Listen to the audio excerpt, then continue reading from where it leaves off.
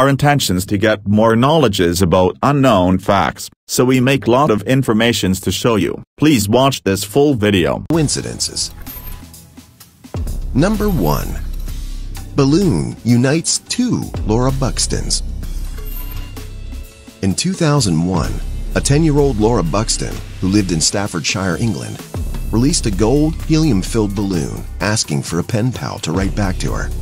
The balloon traveled 140 miles to Milton Lilbourne before landing. After a 10-day wait, Laura received a reply from another 10-year-old girl, also named Laura Buxton. The similarities didn't end there. They both had brown hair, blue eyes, and were the same height, despite being taller than average for their age. The day they met, they both unintentionally wore pink sweaters with jeans and pigtails, and also brought their pet guinea pigs that were the same color. Number 2. Civil War in Wilmer McLean Wilmer McLean's farm in Manassas, Virginia was the setting for the first Battle of Bull Run in 1861, which was the first major battle of the American Civil War. In 1862, when the second Battle of Bull Run began, McLean moved his family to a quaint town called Appomattox Courthouse, where he believed he would be far from the war. He was wrong. In 1865, General Robert E. Lee decided to surrender to Ulysses S. Grant a messenger was sent to find a place for them to meet.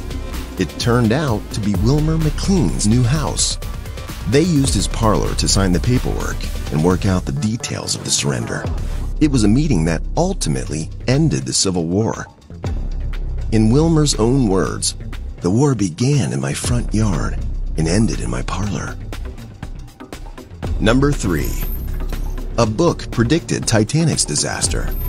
In 1898, a novella titled Futility was written by Morgan Robertson. It was a fictional story about the nautical disaster of the Titan that shared many uncanny similarities to the famous Titanic that sank 14 years after its publication.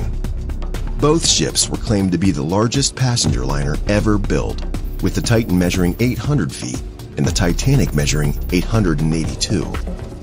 The Titan had 2,500 passengers when it sank, while the Titanic carried 2,200. Both ships didn't have enough lifeboats for all the passengers, with the Titan carrying 24 and the Titanic with just 20. Both ships were claimed to be unsinkable thanks to the engineering feat of watertight compartments, the Titan with 19 and the Titanic with 16. Both ships began their final journeys in April, traveling across the Atlantic Ocean and were hit by an iceberg on the starboard side while traveling too fast at night. After the sinking of the Titanic, a new edition of Futility was released with the retitled name The Wreck of the Titan. Number 4. Separated twins lead identical lives.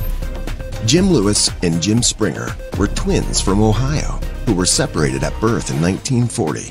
They went on to lead almost identical lives 45 miles apart without knowing the other existed. In 1979, the two Jims met and discovered their similarities didn't end with just their first names. As children, they both had a dog named Toy. They both married women named Linda, who they later divorced. They both went on to marry women named Betty.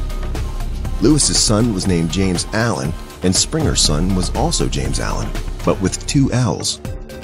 Both of them took family vacations to St. Pete Beach in Florida.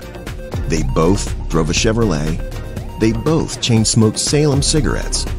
And they both served as part-time sheriffs. Number 5. Enzo Ferrari and his doppelganger. Enzo Ferrari, the founder of the sports car bearing his name, died on August 14, 1988. Two months and a day later, on October 15, 1988, German footballer Mesut Ozil was born. Though this in itself isn't impressive, what is startling is the resemblance they share. The similarities between the two men are eerily uncanny, with some even claiming it's proof of reincarnation. Number 6.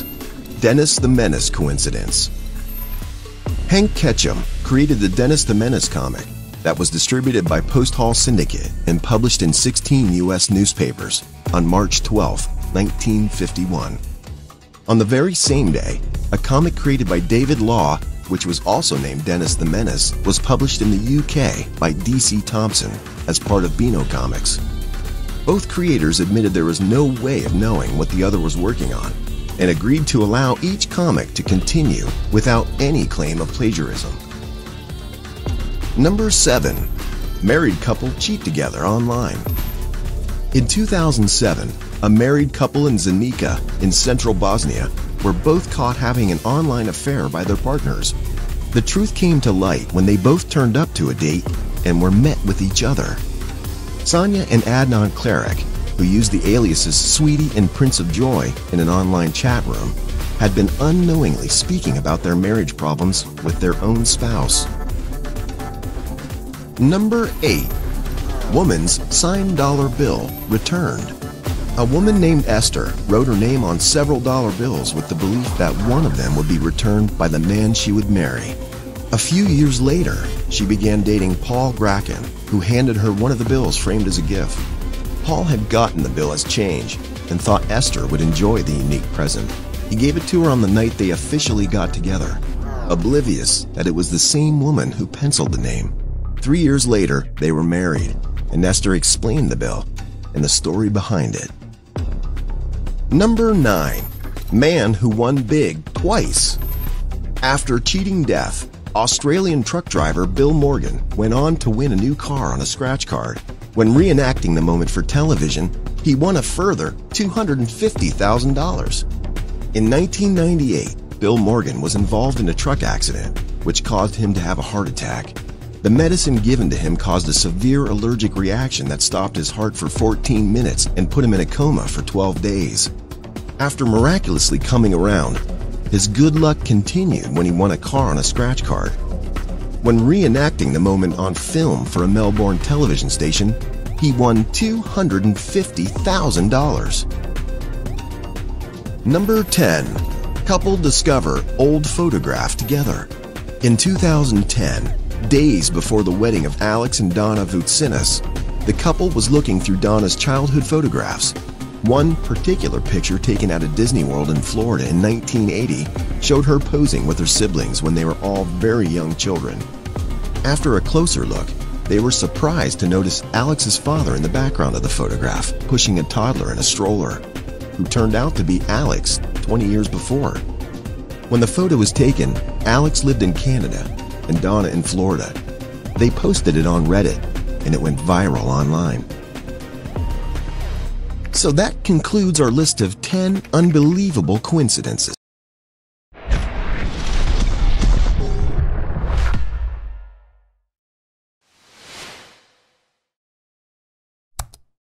Thanks for you to watch our video. We hope you enjoy this video. Please subscribe my channel.